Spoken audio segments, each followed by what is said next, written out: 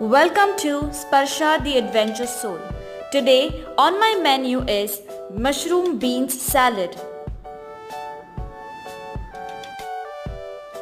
The ingredients for your mushroom bean salads are a bowl mixed of mushrooms, green peas and French beans which are slightly tossed and cooked with olive oil. 1 diced carrot and cucumber, 1 diced onion and tomato and a bowl of fresh spinach leaves.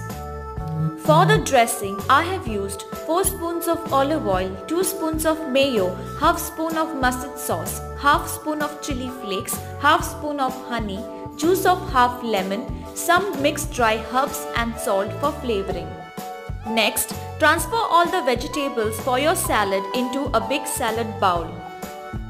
Now add the dressing to your salad bowl and mix it well with the help of a fork.